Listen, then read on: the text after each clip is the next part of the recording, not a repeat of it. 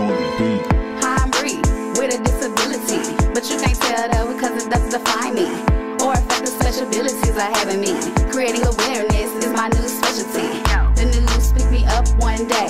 Sharing your story will be good this way. And I'm like, alright, okay, let's give it a try. So these other women now, they don't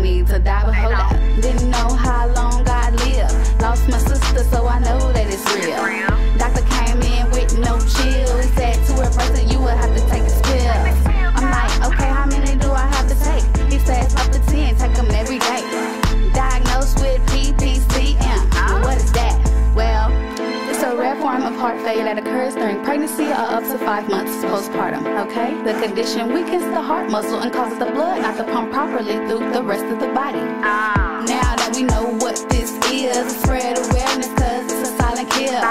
No one's ever heard of it before until it's right there knocking on your door. I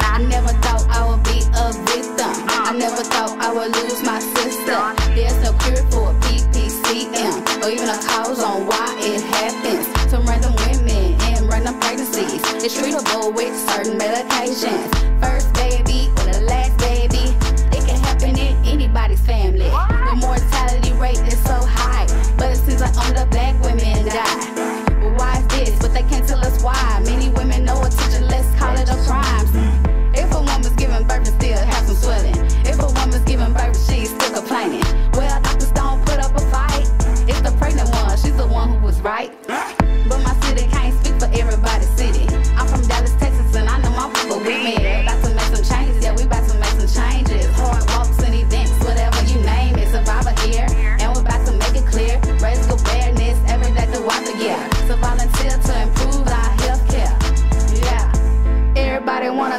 the killings in our city, but nobody wanna talk about the mothers who are in it. Medical fields need to pay more attention to the women. They are killing mothers every day with no intentions, no intentions.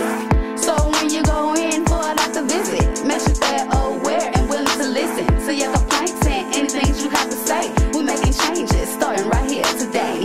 Yeah. We're making changes,